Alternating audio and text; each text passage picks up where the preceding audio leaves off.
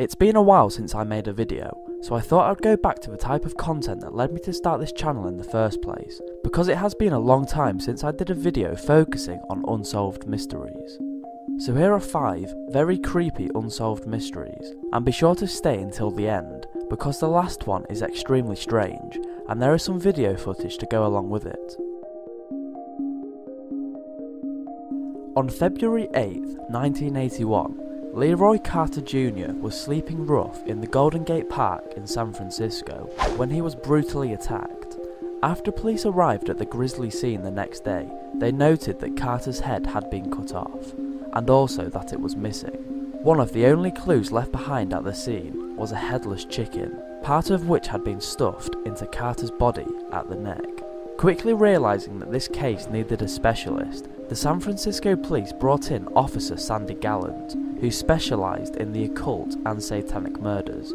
According to Gallant, the murder was likely part of a dark ritual involving Palo Mayombe, a black magic offshoot of the religion Santeria. Gallant believed that whoever had committed the crime did so to make a ritual brew from Carter's brains.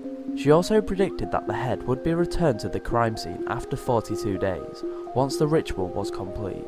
True enough, right on schedule, the head was returned to the crime scene 42 days later, However, despite having been called in, Officer Gallant was not taken seriously, and no one was watching the crime scene to make the arrest. The murderer escaped justice, and the case remains unsolved. Pauline Picard, aged 2, disappeared from her family farm in Brittany, France in April 1922. An extensive search failed to find her, but several days later, police received news that a little girl who matched Pauline's description was found wandering in the town of Cherbourg, about 320 kilometres away from the Picard farm.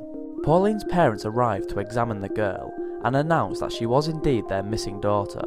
About a month later, a neighbouring farmer walking near the Picard farm stumbled upon something horrifying the mutilated and decomposing body of a young girl next to her neatly folded clothes. He alerted the authorities who arrived at the gruesome scene, along with the town's inhabitants, among them Pauline's parents. Although the girl's face could not be identified, the Picards made an unsettling realization. The folded clothes were exactly what Pauline had been wearing on the day she disappeared. The area where the remains were found had been searched thoroughly when Pauline first disappeared, which suggested that someone had placed the body there fairly recently. The case became even more perplexing when the skull of an adult male was discovered next to Pauline's body, adding a second potential victim to the case. The case baffled the police. If the body in the woods was Pauline, as the evidence suggested, then what happened to her? How was the unidentified skull related to Pauline's murder? And who was the little girl from Cherbourg who had been living with the Picards? On August 7, 1973, New Mexico CB radio operators were shocked and concerned when they started to hear transmissions from a young boy pleading for help. In his transmissions, the little boy told the radio operators that his name was Larry and that he was trapped in a red and white pickup truck with his father, who he thought might be dead. According to Larry, his father had taken him on a hunting trip. At some point along the way, there was an accident and the truck overturned into a gully, jamming the driver and passenger side doors. He said he could not get out, he had no food or water and had no idea where the accident had occurred. He also made matters worse by constantly switching channels in an apparent panic. Much to the operator's frustration, Larry's signal kept fading in and out. The authorities were contacted and the search for Larry began in New Mexico. Thousands of civilian volunteers hit the roads to try and find Larry, but not all of them as part of the official search, which led to much confusion. As the days passed, newspapers and TV stations picked up the story, but Larry's signal was growing weaker and weaker, a sign that the battery was running out. By August 12th, no sign of an overturned pickup truck had been found. No one reported a missing boy. Larry's signal disappeared for good, and authorities claimed that the broadcasts were a hoax. However, no one has ever come forward to claim responsibility, and no suspects were ever named. Were Larry's cries for help a fraud, or did a young boy die trapped and alone? The mystery remains unsolved. In 1957, two sisters, Joanna and Jacqueline Pollock, aged 11 and 6, were tragically killed in a car accident as they walked to their local church in Northumberland, England. John, their father, prayed and hoped every day that his daughters would come back, and it seems his prayers were answered. Just one year later, twin girls Jennifer and Gillian were born. The Pollocks were surprised to find that Jennifer, the younger twin, had birthmarks on her body and face in the exact same place as Jacqueline had. With that began a series of uncanny similarities between the twins and their dead sisters. At the age of two, the twins started to ask for toys which had once been owned by Jacqueline and Joanna. The girls had never seen or heard about the toys before.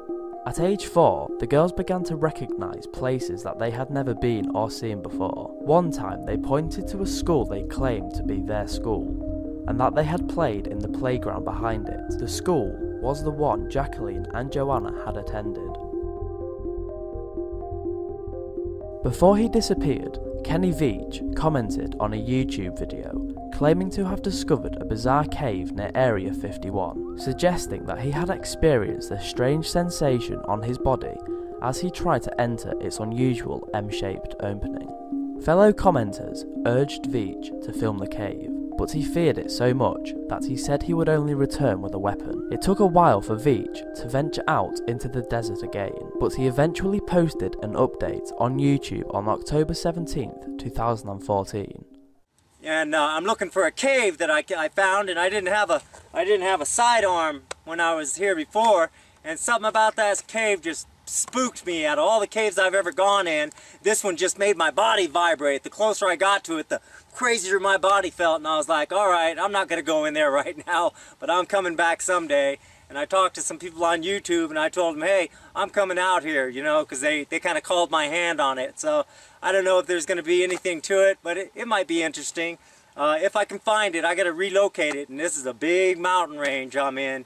You know, so I just keep on walking. I'm kind of going down.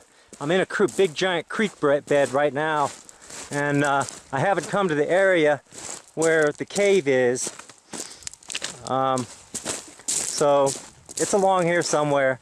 There's lots of little caves, um, but they're, you know, they're not the kind of cave I'm looking for. The kind of cave I'm looking for is, is deep and it's dark and it's uh, it's it's shaped like it's it's shaped just like the letter M.